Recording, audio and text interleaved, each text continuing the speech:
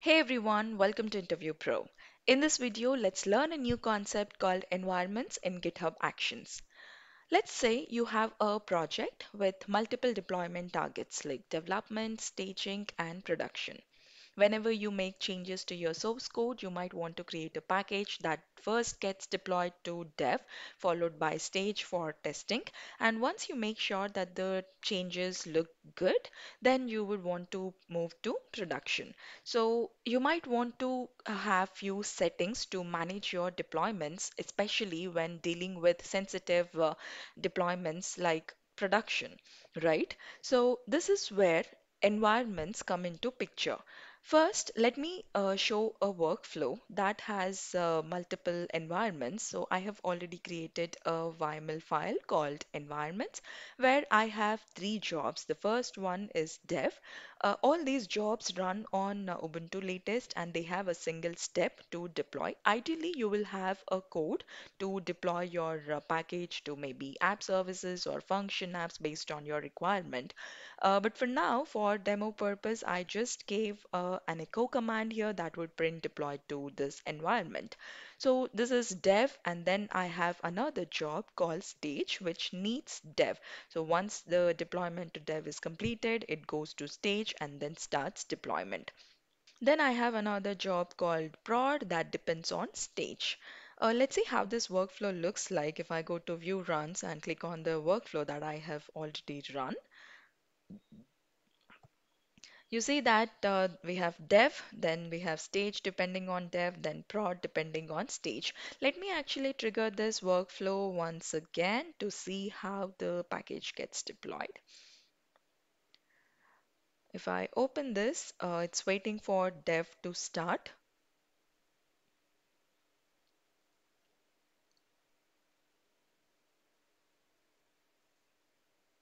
So dev is completed, then it moved to stage. And then it goes to prod. Now, if you notice, once the package is deployed to stage, it directly went to prod and it's it's uh, waiting for the job to start and it's completed already. This is not an ideal setup, right?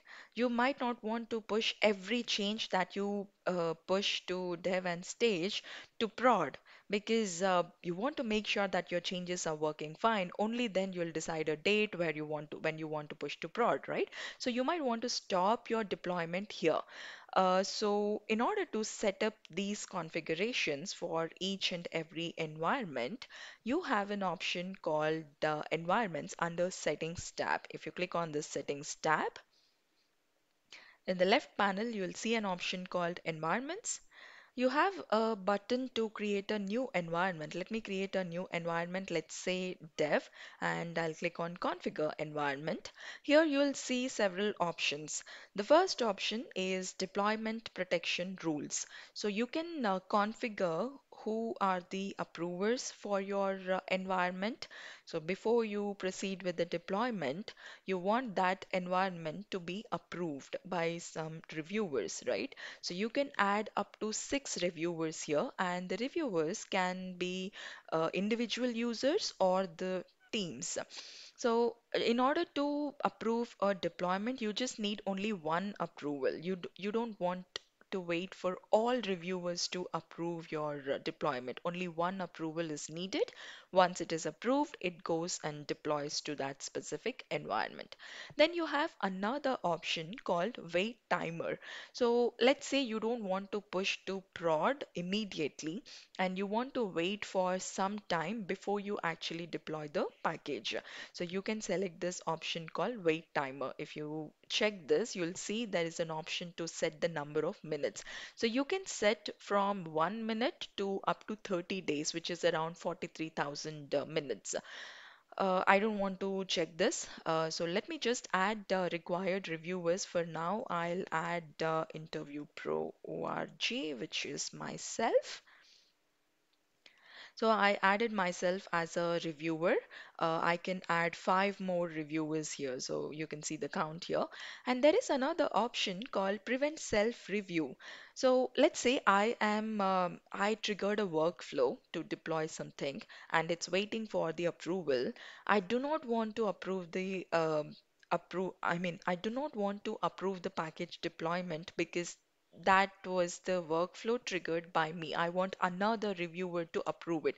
In that case, you can uh, check this box. You can prevent uh, reviewing your own uh, workflow. Then we have another option called allow administrators to bypass configured rules. Generally, admins uh, to this repository will have access to deploy without any approvals. Uh, by default, this is checked, but if you do not want such bypass rules, you can always disable this. Now I'll click on Save Protection Rules.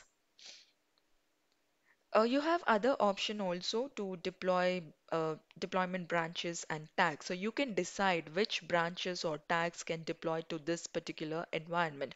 There are three different options here. One, uh, no restriction. That means any branch can uh, uh, deploy to this environment. Otherwise, you can select protected branches only. So if you have branch protection rules enabled, only those branches are allowed to deploy. Then you have uh, selected branches and tags. You can explicitly specify which branch you want to uh, allow uh, deployment for this environment. For example, when we take the environment such as prod, you do not want to deploy packages generated by the main or master branches. Uh, ideally, you would maintain a separate branch which might start with the word releases, uh, and you want only those branches to deploy uh, to this prod environment. In such case, you can specify a pattern here, let's say release star, and you can add a rule. Then only the branches whose name starts with release will um, uh, deploy to this environment. Uh, for now, I am not adding these rules. So I'll click on this branch protection rules. We'll come back to this environment secrets and environment variables later, but for now, let's look at this deployment protection rules. I'll click on save protection rules, and if I go to environments, uh, you can see that uh, the name of the environment and there are two protection rules configured. And what are those protection rules? We have uh, uh, reviewers and we do not want to allow self-review. Now, in order to utilize these environments, let me actually create other two environments for uh, stage and uh, prod. I'll configure the environment similar to the dev one. Um, actually, I don't want any reviewers for uh, stage, so I'll just click on uh, Save Protection Rules. Um, let me create another environment called prod. Click on Configure Environment. For prod, I need reviewers for sure, so I'm just adding myself for now. Interview Pro ORG. And I'm not checking prevent self review because I want to approve the deployment myself. I don't want to bypass the administrators, so bypass protection rules by administrators. So I'll just click on save protection rules and um, let me remove protection rules for uh, dev because dev I want automatic deployments. So I'll click on save protection rules. Now you can see that uh, okay, let, let me Save again and refresh. Okay, I forgot to uh, set this to no restriction. Now, if I click on Save Protection Rules and go back to Environments, I see that only prod has protection rules.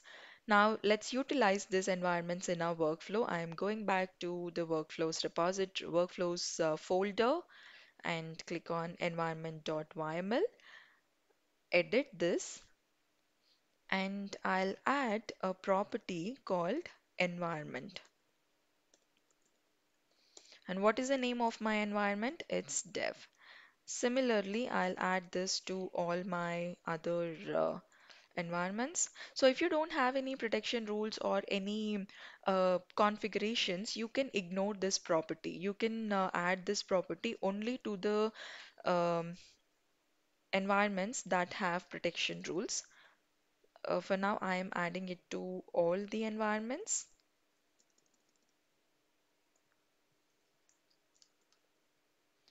I'll click on Save, Commit Changes, Update, and I'll go to View Runs. Now I'll click on Run Workflow. Let's see how it behaves now. It is uh, deploying to dev. We don't have any environment protection rules here. It will automatically deploy and same with the uh, stage environment. It will automatically deploy. Now let's see what happens with prod. Now look at this. Uh, this is not automatically deploying to prod. It says prod waiting for review. Prod is the name of the environment that we used in the environments uh, settings and it is waiting for the review. To see who can uh, uh, review and how to review, there is a button called review deployments. Click on this and you'll see the environment name and it will also mention it is uh, waiting for the review from whom. I added Interview Pro ORG as a reviewer for this environment, and you can see this name here. So you can select this environment and uh, leave uh, a comment, maybe approved, and click on approve and deploy. Uh, if you click, if you don't want to approve, then you can click on reject. I'll uh, click on approve and deploy. Now it will uh, start deployment. So this is how uh, approvals work. Now go to environments, click on prod, check this prevent self uh, self review and click on save protection rules. Now I'll go back to actions and then to environments. I'll trigger this workflow again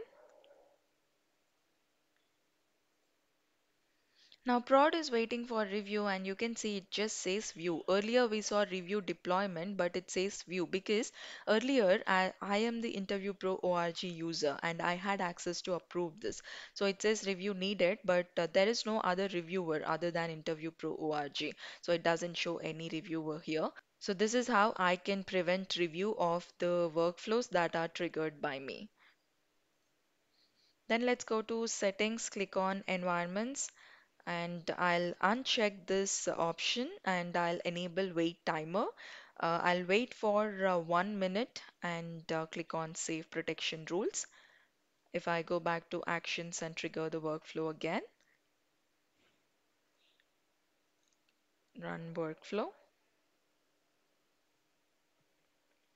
Now it says prod is waiting for review and prod is waiting for these many seconds. Let's see what happens if I review this before this timer uh, completes. So it is still waiting for uh, 43 seconds. Even though I approved this uh, environment, it still waits for the timer. And you can see the status here. It is waiting for the timer to complete. And what is the timer here? One minute wait timer. Let's uh, wait for another 20 seconds and see if it deploys. So it's waiting for zero seconds and now you can see that the prod deployment started. So these are different options to set uh, deployment protection rules for environments. Um, actually, let me add the protection rule for stage and see how it works when there are two um, approvals. I'll add uh, Interview Pro ORG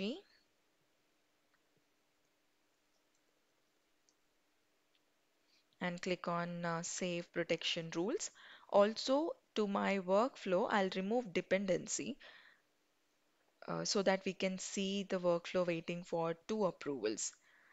So I'll remove dependency on uh, prod.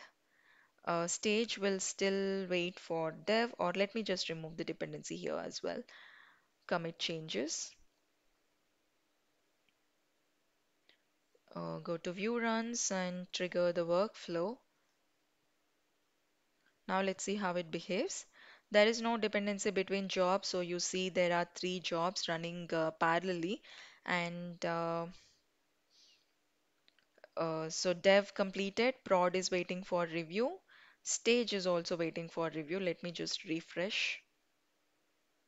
Yeah, so both prod and stage are waiting for review. Prod has another protection rule called wait for one minute.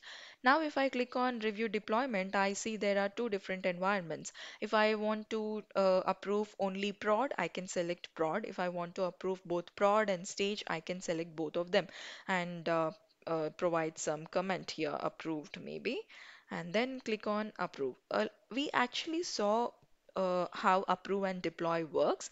Now I'll click on reject to see how it works. So I clicked on reject and uh, let me refresh and you see that this job is failed. And here uh, you can see the deployment was rejected or didn't satisfy other protection rules. And the wait timer, it is cancelled because another deployment protection rule was rejected. So for a deployment to proceed, all the deployment protection rules should be satisfied. Here one of them is not satisfied and hence the deployment is uh, rejected. So yeah, this is how you can configure deployment protection rules to different environments in your workflow. I hope the concept is clear. If you like the content, please hit the like button, share your thoughts in the comment section, and uh, don't forget to subscribe to Interview Pro. Thank you.